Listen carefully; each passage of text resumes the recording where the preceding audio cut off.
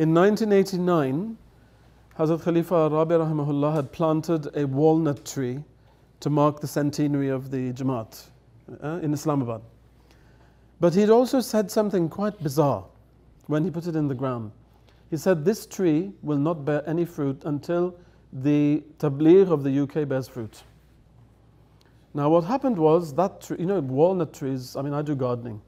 If you plant a walnut tree, often the very next year you start getting walnuts on it. Or maybe two years, or maybe three years later. But after so many years, when I came and I saw the tree, there was nothing on it. And the tree was also quite small still.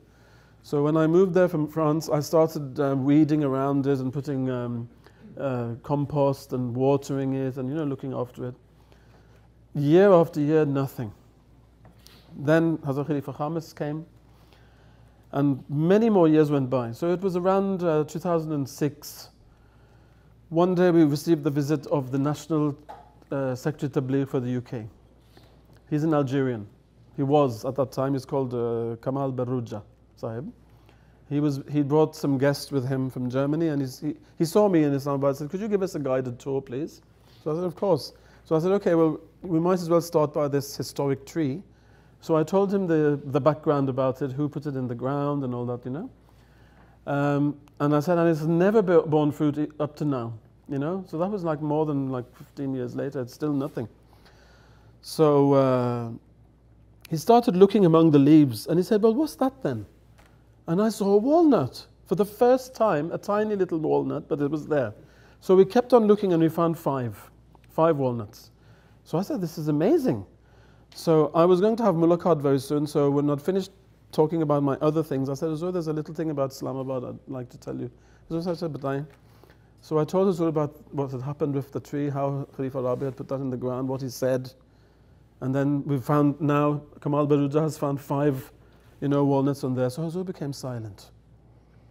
And then he said, This means we're going to get some converts in Algeria. Okay?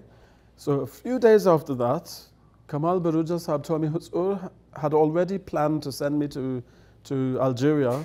You know, I'd been planning it for a few weeks now. I'm just about to leave. Please pray that we, we get some fruit. I'm going to do a tabligh tour. I said, okay. A couple of days later, he rang me. He said, Mabruk, I said, What's happened? He said, We got some converts. I said, How many? He said, Five.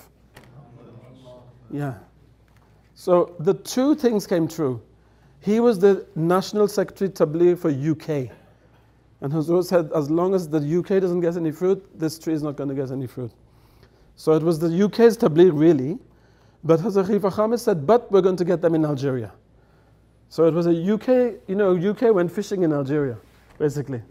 And they caught the fish there but it was a UK effort. So Hazrat Khalifa Rabi's uh, words also came true, and Hazrat Khalifa words also came true.